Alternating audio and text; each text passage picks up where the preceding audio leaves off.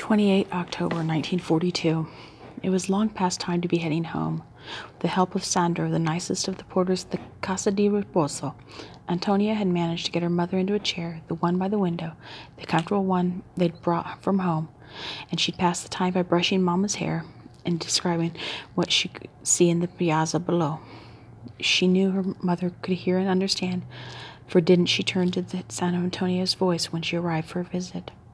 Didn't she hold tight with her good hand and squeeze her fingers when her daughter whispered that she loved her?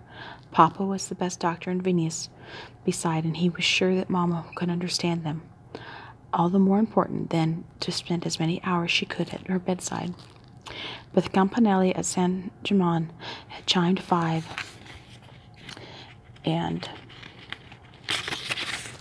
Papa would be waiting at home, and it wasn't safe to be out after dark, not any more. To go home and help Marta with supper, and if I'm not there to remind him to eat, you know that Papa will keep on reading until he falls asleep at his desk. Shall I help you back to bed, or would you like to stay here until they bring you supper?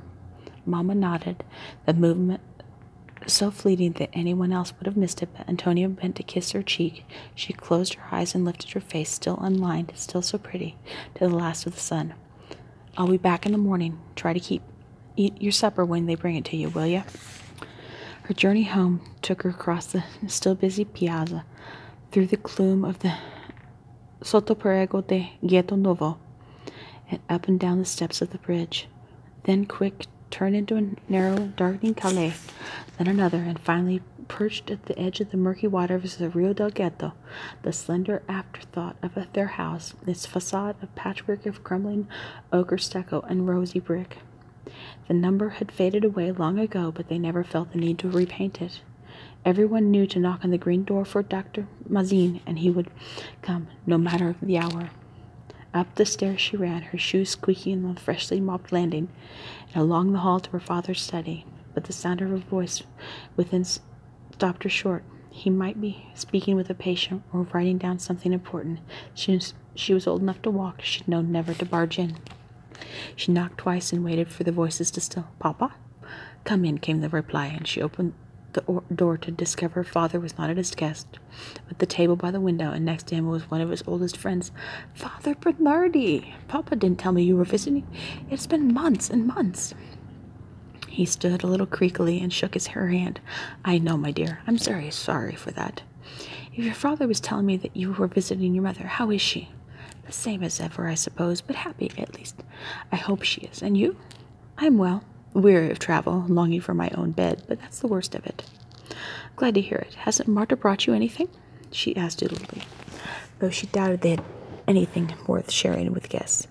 I only arrived a few minutes ago, and you know how your father and I are when we get to talking. But wait a minute, I have something for you.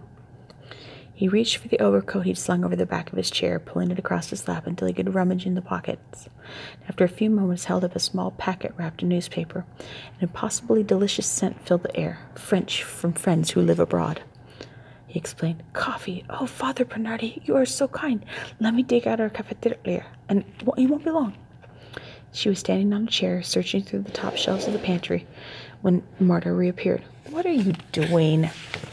Looking for the coffee maker. Father Bernardi is visiting. He, we haven't had coffee since his last visit. That was months ago. Marta sighed, typical of her size. It was drawn out, mournful, and vibrating with resentment. It will only get people talking. A Catholic priest, of all people, coming to visit. How your father even knows that man. He's been a patient of Papa's for years and years, and his friend, too. Papa always had people coming and going.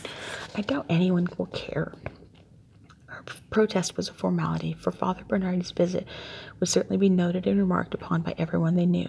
Had they lived anywhere else, no one would have cared, but the ghetto was a close knit place, the sort of neighborhood where people loved nothing better than burrowing into each other's business, and so her father's agnostic learnings, as well as his avowed determination to be guided by science rather than faith, had long been a focus of local gossip. Her fingers closed around the worn aluminum of the coffee, coffee maker, dusty from disuse, and pulled it from its hiding place. Where's the grinder? In the next cupboard over. Do we have any sugar? A little. You know, if your father had bothered to tell me he was expecting someone, I had made my zete. He really only has himself to blame. Delicious as the zete were, Marta couldn't possibly have made the cookies. There was hardly any flour in the pantry, no raisins, barely enough sugar to sweeten the coffee, and they hadn't even seen a fresh egg in months. But pointing it out would have only led to more sighs.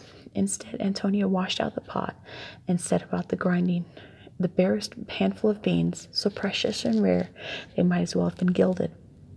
There was just enough in the little drawer of the grinder once she chased out every clinging speck to make two small cups of coffee, hardly more than a mouthful each.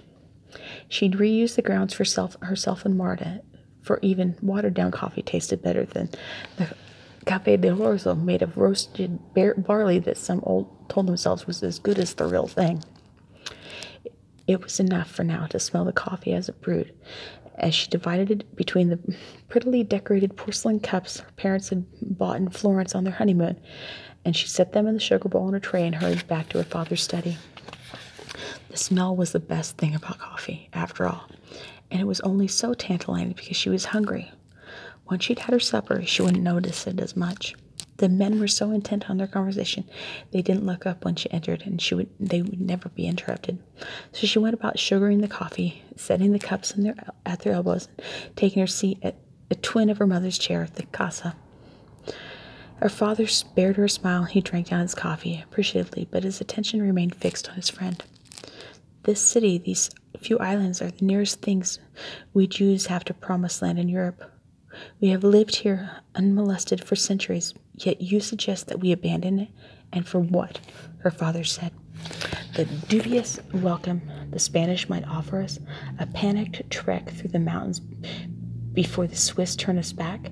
If you had listened to me when the first barred you from your work, from your profession, I belong nowhere else. I am as Italian as you. I was born here. I have no other home. What would become of me, of my family, of my patients? And the fascists have made no move against us beyond the racial laws. You speak of these laws as if they were something one might expect within the bounds of normal civil society. But they stripped you and every Jew I know of his profession. No, don't frown at me like that. Look at what they did to dear Dr. Jona. The man is well into his 70s and retired years ago, yet still they removed his name from the register of physicians. His professorship at the university gone, and all he has left is in his presidency of a Jewish community here, and that's hardly more than a formality. The laws are noxious. On that, my dear Guido, we agree, but I have found a way to exist just as we have always done. Her father leaned forward, his hands clasped so tightly his fingertips had gone white and his voice faded to a whisper. I've heard that the defeat of El Alamein is all but certain. Surely the tide must be turning. That may well be true, but it's turning far too slowly for my liking, and in the meantime, Il Duce grows more desperate, the Germans grow bolder, and we wait for the axe to fall. And it will fall for it's only a matter of time before they seize power here, just as they did with Austria, with the rest of Europe, for that matter. And what then? Father Bernardi asked, his affable voice sharpening as his solemnity. Only think, what if they were in power here? What would prevent them from rounding you up, just as they're doing with Jews of Germany, of Poland, of France? And if I were to leave with Antonia, make the journey to Switzerland, what would become of my Devorle? She cannot travel. You know that, and you know I will not leave her, not as long as there is a breath in my body. Bad enough that she must live in that rest home. Her father wrenched off his spectacles and set about polishing them with his crumpled handkerchief, and from the way he pressed his lips together and pinched at the bridge of his nose, Antonia could tell he was fighting off tears. Just as he always did when he spoke of her mother, the stroke that had left her as weakened, and the agonizing decision to move her to the rest home earlier this year. It was a good thing, she decided, that she hadn't allowed herself at any of the coffee, for even the idea of abandoning her mother was enough to tighten her throat and turn her empty stomach upside down. Her father was quick to notice her distress. Don't look so alarmed. We're safe enough here, aren't we? He asked Father Bernardi, and it seemed to Antonia that his eyes, as he looked at his friend, held a warning of some kind, but was it to be truthful or to be kind? The priest nodded, but his gentle smile didn't convince her. For the moment, yes, the priest said, but do not forget what we I won't, her father interrupted. I promise I won't forget. Well, then, I ought to be on my way. I had only meant to stop for a minute or two. Father Bernardi stood, took a moment to find his balance, and then shook hands with her father. Thank you for your hospitality, turning to Antonia.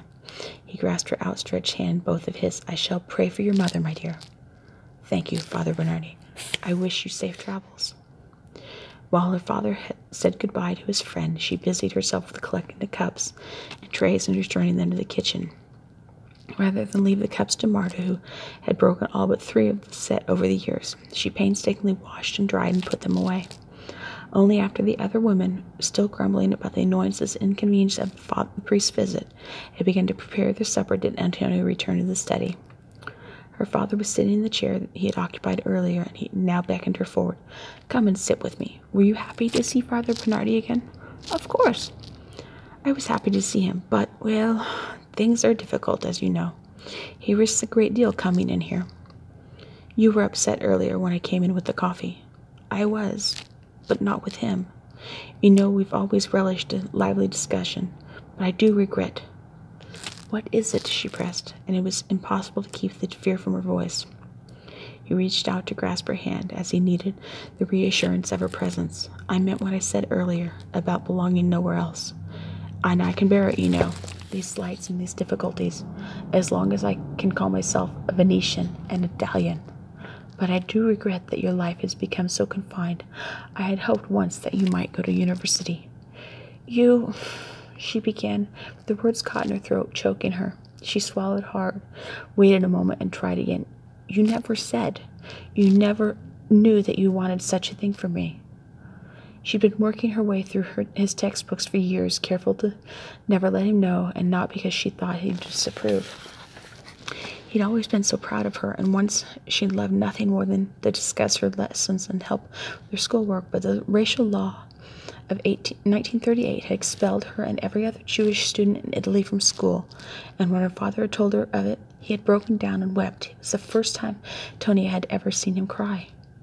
So she decided that it would be far kinder to simply borrow his books and memorize as much as she could, and then one day, when she was allowed to go to school again, she would be ready. Oh, of course I did. I still do.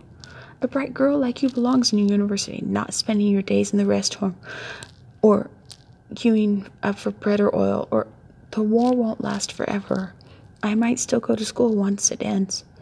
You might, he admitted, or perhaps, perhaps I might teach you some of what I know, as if you were one of my students in Padua. I don't miss those long hours on the train on my teaching days, but I do miss my students, and I think you would make a very good doctor. Do you think? I would love nothing more, she promised, blinking her heart it was silly to cry over something that was good. We'll be constrained by our circumstances. It will be far from a comprehensive education, but I can give you an idea, if nothing more, of what medicine is like. If it's something that suits you, when do we start? You've been reading through my library for years, so I expect you're well on your way. You knew? she asked.